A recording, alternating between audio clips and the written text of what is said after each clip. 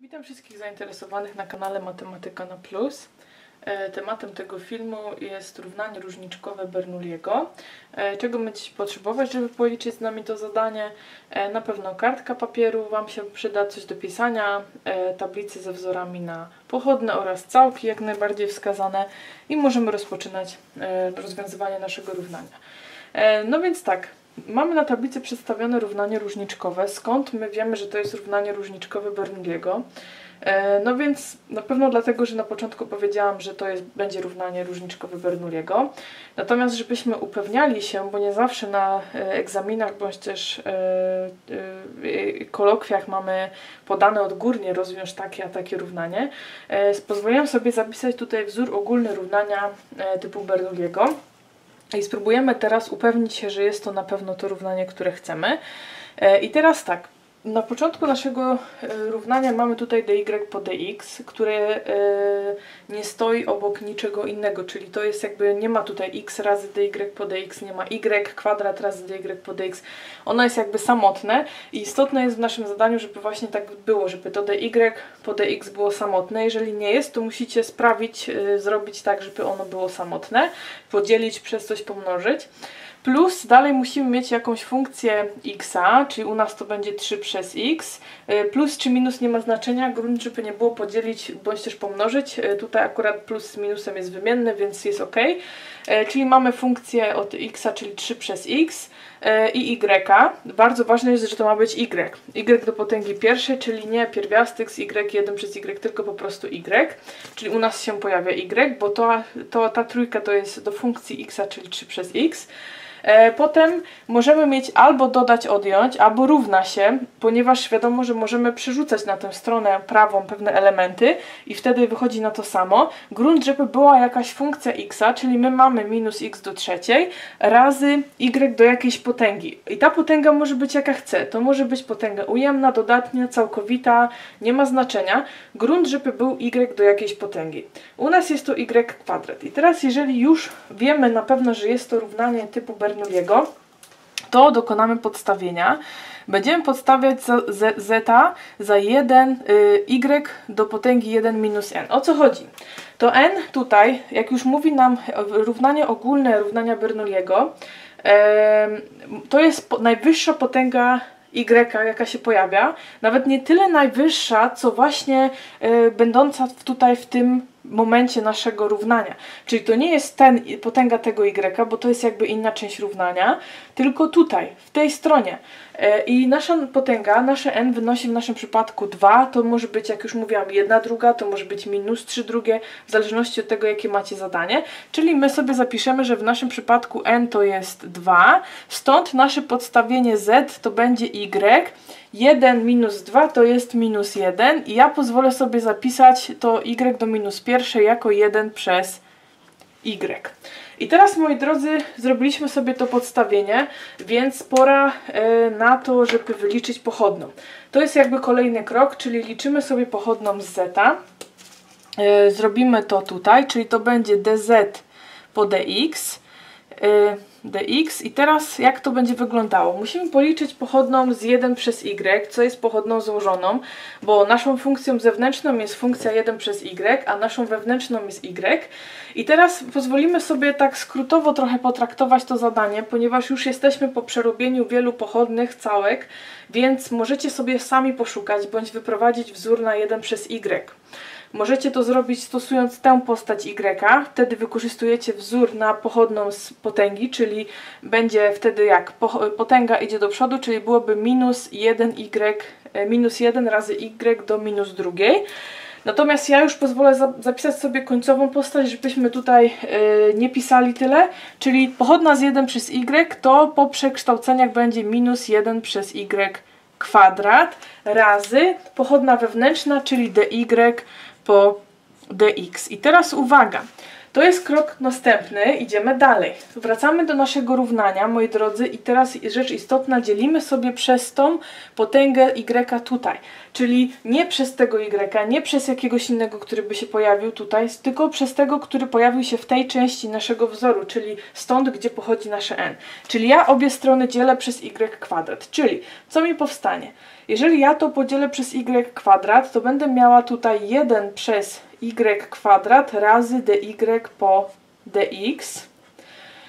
Dalej, minus. Jeżeli ja to podzielę przez y kwadrat, to tak, 3 przez x mi zostanie razy y przez y kwadrat to będzie 1 przez y równa się. Jeżeli tu podzielę przez y kwadrat, to mi się zredukuje i zostanie mi tylko minus x do trzeciej. I teraz, moi drodzy, muszę tutaj zastosować moje podstawienie, dobrze by było. I teraz tak, przyjrzyjmy się. Zobaczcie, tu mi powstało 1 przez y i mogę dosłownie za 1 przez y podstawić z, czyli tu mam z głowy. I tutaj zobaczcie, co się stało tu powstało mi coś podobnego, co mam tutaj. Ale uwaga, nie zgadza mi się minus, więc wystarczy, że obie strony pomnożę, bądź też podzielę przez minus 1 i w tym momencie wiem, że 1 przez y kwadrat razy dy po dx to się równa minus dz po dx. Starajcie się rozwiązywać to równanie mniej więcej taką kolejnością kroków, wtedy się nie zamotacie i będziecie wiedzieć skąd się coś wzięło i nie będziecie robić tak to bardziej z automatu, e, bo jeżeli robi się czasami z automatu, to potem łatwo się gdzieś zamotać i pomyśleć, o nagle skąd mi się to wzięło, dlaczego tu muszę postawiać. Czyli najpierw wstawiacie sobie tutaj e, zeta, wyliczacie pochodną z zeta i dopiero wtedy dzielicie sobie przez tego y do naszej potęgi n. I teraz widzimy, że te wyrażenie to jest po prostu minus dz po dx, czyli podstawiam, czyli mam minus dz po dx minus 3 przez x razy i zamiast 1 przez y wstawiam sobie z. I to się równa minus x do trzeciej. I teraz, moi drodzy, powstała rzecz bardzo, ale to bardzo ciekawa, ponieważ okazało się, że e, podstawiliśmy i sprowadziliśmy to nasze wyjściowe równanie do równania różniczkowego, liniowego, niejednorodnego. I my teraz będziemy musieli w zetach i xach rozwiązać to równanie liniowe. I to zrobimy na tablicy pomocniczej i po rozwiązaniu z, wrócimy tutaj na tablicę główną, żeby rozwiązać i, i ponownie wprowadzić nasze stare współrzędne, czyli x i y, czyli słyszymy się za chwilę kilka, a teraz idziemy rozwiązywać nasze równanie liniowe. Witam wszystkich na tablicy pomocniczej, na której rozwiążemy sobie nasze równanie liniowe niejednorodne. E, I cóż, jak się to robiło? E, na początku, w pierwszym kroku udawaliśmy, że e, jest to równanie jednorodne, czyli zerowaliśmy naszą prawą stronę równania. Czyli jak to wygląda? Czyli mamy minus dz po dx minus 3 przez x razy z równa się 0. Dlaczego to robiliśmy? Ponieważ wtedy e, nasze równanie sprowadzało się do równania o zmiennych rozdzielonych, czyli przenieśmy sobie tę część równania na stronę prawą, czyli to będzie minus dz po dx równe 3 przez x razy z i teraz rozdzielmy nasze zmienne. z y zostawimy na lewej stronie, to co ma x na prawej. I czyli tak, najpierw sobie pomnóżmy razy minus dx, tak żeby się tego minusa też pozbyć. Czyli tu będzie dz równa się minus 3 przez x razy z razy dx. I teraz podzielmy przez zeta, czyli to będzie ile? To będzie y, dz przez z równa się minus 3 przez x dx. I teraz, moi drodzy, e, musimy policzyć obustronnie całki, e, czyli ja pozwolę sobie już tutaj zapisać te całki. Czyli całka z dz po z to jest po prostu logarytm naturalny z, natomiast całka z minus 3 3 przez x, no to jest podobnie jak po, po, lewej stronie, tylko po pierwsze pojawia się minus, po drugie e, mam e, nie jeden logarytm, tylko trzy logarytmy naturalne z x. Dodać C. I teraz popracuję nad tą stroną prawą, żeby przedstawić ją w taki sposób, aby potem do dalszych obliczeń móc ją wykorzystać. Czyli teraz zrobimy tak, że tą minus trójkę zgodnie z własnościami logarytmu umieścimy jako potęgę naszego x, czyli to będzie logarytm naturalny z x do minus trzeciej, dodać c. Moje c zamieniam na logarytm z c1, e, mogę to zrobić. Dlaczego? Ponieważ jeżeli mam dodawanie takich samych logarytmów, które przed, przed, y, przed którymi też są te same liczby, to mogę wykorzystać własność, że, że zamieniam to na jeden logarytm i mnożę ich tutaj argumenty, czyli to będzie logarytm c1 razy x do minus trzeciej. I to pozwala mi w tym momencie już e, e, zadanie moje sprowadzić do etapu, gdzie e, mam logarytm z równy logarytm z tego wyrażenia. Teraz sobie redukuję logarytmy i mam po prostu, że z to się równa c1 razy x do minus trzecie. I teraz, moi drodzy, mogę przejść do następnego kroku, czyli do uzmieniania stałe. Czyli krok drugi to jest uzmienianie stałe, czyli moje z prezentuje się teraz jako c1 od x razy x do minus trzeciej, czyli z mojej stałej zrobiłam funkcję zależną od x.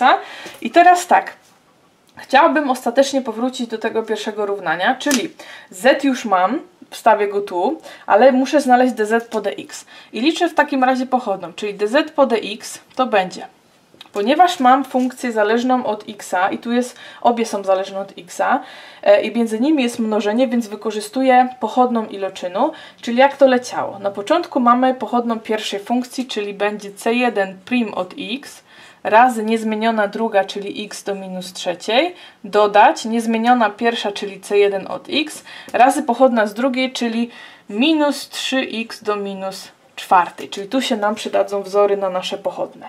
Znając to i to, wrzucam te dwie funkcje do mojego wyjściowego równania, czyli mam minus te całe wyrażenie, czyli minus c1 prim od x razy x do minus trzeciej. Ten minus będzie dotyczył też tego wyrażenia, czyli minus z plusem da mi minus i ten minus z tym minusem da mi plus, czyli będę miała plus I tą trójkę sobie wyłączę tutaj, czyli będzie 3c1 od x razy x do minus czwartej.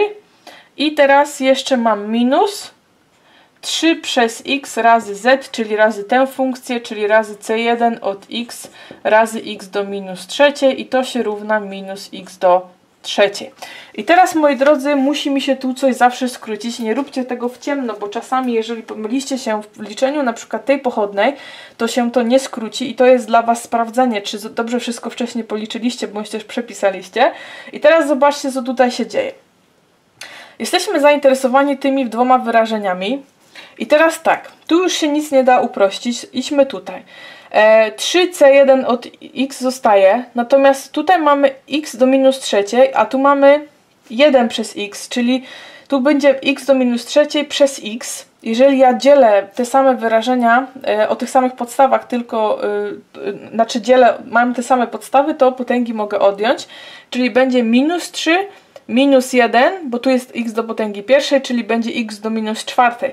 A tutaj też mam x do minus czwartej, czyli faktycznie zgadza się. Mam 3,1, mam, przepraszam, 3c1 od x, tutaj też, też jest 3c1 od x, x do minus czwartej, x do minus czwartej plus minus, czyli się zredukują, czyli jak najbardziej mogę to sobie skrócić i zostanie mi minus c1 prim od x razy x do minus trzeciej równa się minus x do trzeciej. I teraz, moi drodzy, ważna rzecz, która się tutaj wydarzy. Musimy wyliczyć c1 od x. Na początku pozbądźmy się minusa i x do minus trzeciej, czyli dzielimy obie strony przez minus x do minus trzeciej i mamy, że c1 prim od x to się równa, minusy się zredukują i x do trzeciej przez x do minus trzeciej to będzie też ponownie dzielenie, czyli skorzystamy z odejmowania potęg, czyli będzie 3 minus minus 3, czyli 3 plus 3, czyli x do szóstej. I teraz, żeby pozbyć się prima, musimy scałkować, czyli c1 od x to się równa całka z x do szóstej po dx. To jest wzór podstawowy stałek, czyli to będzie x do siódmej przez 7 dodać na przykład a, żebyśmy cały czas nie operowali c1, c2 czy c3 i tak dalej. I w momencie, kiedy wyliczyliśmy naszą uzmienioną stałą, możemy wrócić do naszego z i tu zamiast tej uzmienionej stałej wpisać nasz wynik, czyli nasz z, czyli rozwiązanie naszego równania liniowego, to jest co? x do siódmej przez 7 dodać a razy x do minus trzeciej Czyli mamy rozwiązanie, poznaliśmy to rozwiązanie, więc z nim możemy teraz wrócić na naszą tablicę główną, gdzie dokończymy liczenie naszego e, równania Bernoulliego. Witam po dosyć długim czasie na tablicy głównej ponownie. E, I cóż, pozwoliłam sobie zapisać to rozwiązanie, które powstało nam e, na tablicy pomocniczej, rozwiązanie naszego równania e, liniowego niejednorodnego. Powstał nam taki z, no i cóż, my chcemy, to nie jest koniec odpowiedzi, bo jak już wspominałam, musimy tak zadanie skończyć w takich zmiennych, w jakich rozpoczynaliśmy, czyli musimy wrócić do xów i y'ów i teraz gdzie, gdzie wracamy? Wracamy do naszego podstawienia, bo my wiemy, że nasz z to było 1 przez y. No to teraz ja zapiszę z jako 1 przez y. I teraz co to będzie się działo dalej?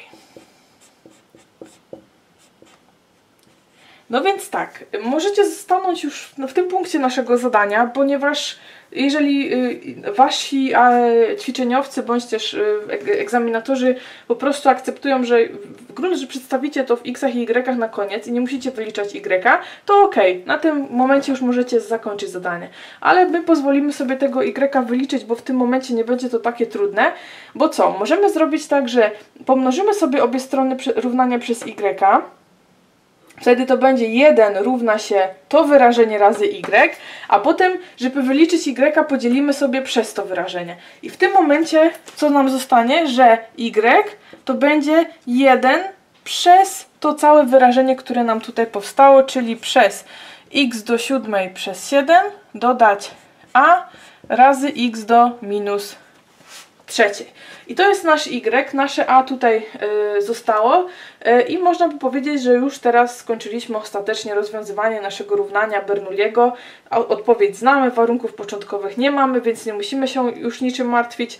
I moi drodzy, cóż, jeżeli macie jakieś pytania, y, wątpliwości, bądź też chcielibyście, abyśmy umieścili jakiś inny przykład, bądź też inne zagadnienie pojawiło się na naszym kanale, to wysyłajcie to wszystko na naszego maila, który podany jest w opisie do tego filmu. I teraz tak, e, moi drodzy, zachęcam do obejrzenia pozostałych zadań związanych z równaniami różniczkowymi, nie tylko Bernoulliego. E, zachęcam do polubienia filmu, do subskrypcji naszego kanału i cóż, życzę Wam udanego dnia i do usłyszenia.